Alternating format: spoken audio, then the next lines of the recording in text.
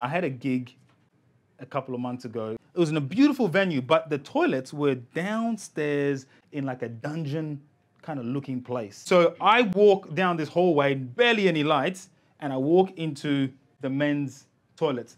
The women's toilets are directly opposite. As I walk out, I see a beautiful woman walking down towards me. I hold the door open. and as she gets closer to me, she looks at me and says, Not today.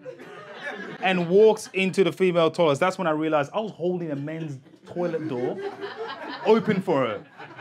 Like some kind of polite rapist. What does she mean by not today?